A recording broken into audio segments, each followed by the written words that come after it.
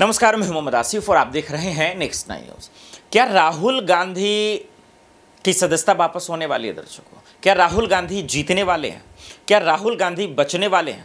चलिए एक रिपोर्ट के माध्यम से आपको बताते हैं कि किस तरीके से राहुल गांधी सीजीआई चंद्रचूड़ की अदालत में उनकी जीत होने वाली है। राहुल गांधी कैसे 2024 में चुनाव लड़ेंगे? उसके लिए उनके वकीलों ने क्या तैयारियाँ की हैं? कांग्रेस के कार्यकर्ता नेताओं ने क्या तैयारियाँ की हैं? जरा इस रिपोर्ट से समझिए। क्या राहुल गांधी को जानबूझकर मोदी सरकार ने जेल में ठूसने का काम किया? क्या राहुल गांधी को जानबूझकर या साजिश रची गई ताकि वो चुनाव 2024 का न लड़ सके। आखिर सीजीआई चंद्रचूड़ की अदालत में राहुल गांधी को लेकर क्या होगा?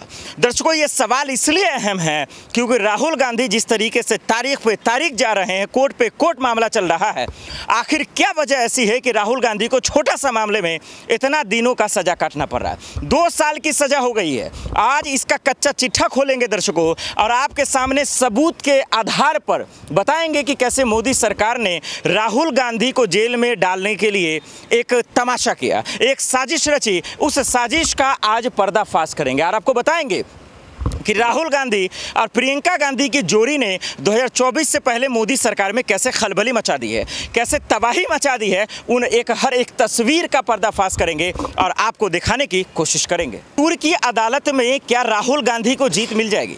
आखिर क्यों कांग्रेस की उम्मीदें इन बातों पर टिकी हुई हैं? आखिर क्यों कांग्रेस के कार्यकर्ता, नेता और तमाम वो लोग इस बात पर तसली अटाए अटके हुए हैं कि राहुल गांधी की का जो मामला है, मोदी सरनेम का जो मामला है राहुल गांधी की जो तस्वीरें हमारा आप देख रहे हैं वो सीजीआई चंद्रचूर जी के अदालत में न्याय टिक जाएगी। ये समझने का वक्त आ गया है और समझना बहुत ज़रूरी है कि जिस राहुल गांधी ने मोहब्बत बांटा जिस राहुल गांधी को लेकर पूरे देश में डंका बज रहा है जिस राहुल गांधी ने भारत जोड़ो यात्रा के माध्यम से लोगों के दिलों पर राज किया वही राहुल गांधी को आखिर क्यों सीजीआई चंद्रचूर की अदालत में जाना पड़ा है समझिए रिपोर्ट से। क्या चंद्रचूर की अदालत में राहुल गांधी को इंसाफ मिल जाएगा? देखिए कहीं ना कहीं राहुल गांधी को जो उम्मीद रही है, सुप्रीम कोर्ट का दरवाज़ा जिस तरह से उन्होंने खटखटाया है तो ज़ाहिर सी बात है उनकी उम्मीदें अब बढ़ती हुई चली गई और पहला स्टेप जो आज हमने देखा है कि गुजरात सरकार को और बीजेपी विधायक पूरेश मोदी को अब नोटिस जारी कर दिया गया है।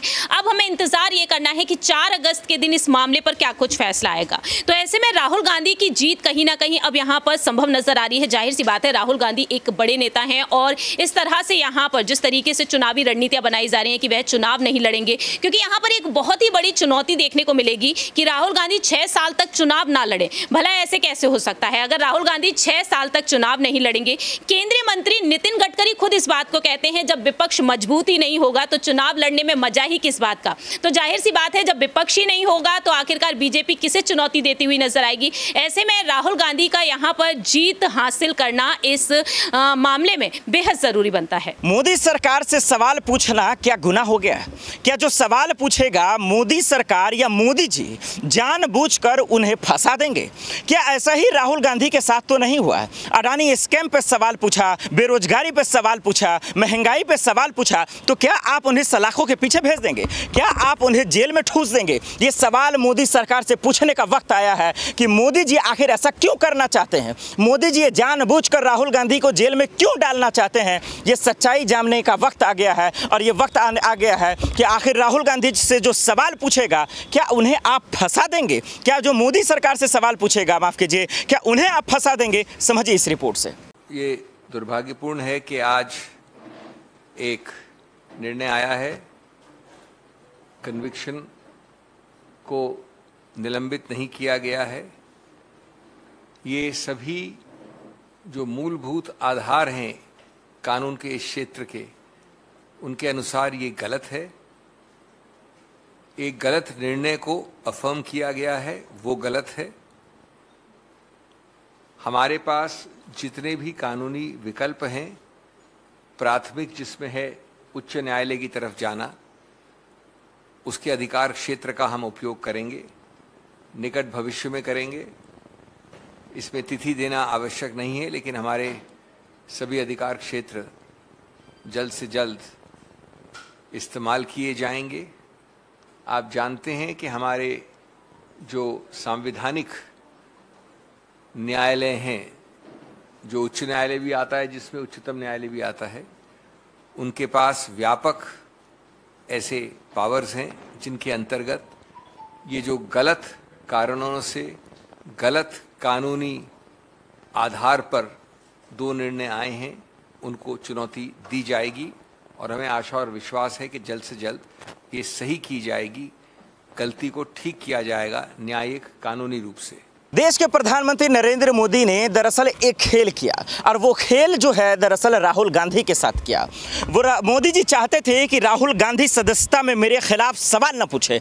राहुल गांधी मेरे सवाल मेरे खिलाफ आवाज़ न उठाएँ और इसीलिए राहुल, मोदी जी ने एक खेल किया। वो खेल 2019 का है दर्शकों, लेकिन सच्चाई का पता अब लगा मोदी जी ने क्या खेल का, किया, क्या साजिश की और क्या खेला कर दिए, वो समझने का वक्त आ गया है। जरा सा ध्यान से समझिएगा, जरा सा रुकिए और समझिए ठहर कर कि राहुल गांधी ने जब सवाल पूछना शुरू किया, जब मोदी जी जो कभी मीडिया से मुखातिब नहीं होते हैं, जब सामना उनका राहुल गांधी के सवालों से हुआ तो कैसे तिल मिलाने लगे और मोदी जी कैसे खेल कर गए राहुल गांधी के साथ? जरा इस तस्वीर से समझिए। आकाश, क्या जो राहुल का मामला है, क्या उससे मोदी जी डर गए हैं वाकई जी हाँ कहीं ना कहीं जिस तरह से इनकी जो है तमाम बार याचिका कोर्ट पे जाती है और कोर्ट जो है डेट आगे बढ़ा देती है, क्योंकि इस बार भी हुआ था कि आज जो है फाइनल फैसला आ जाएगा।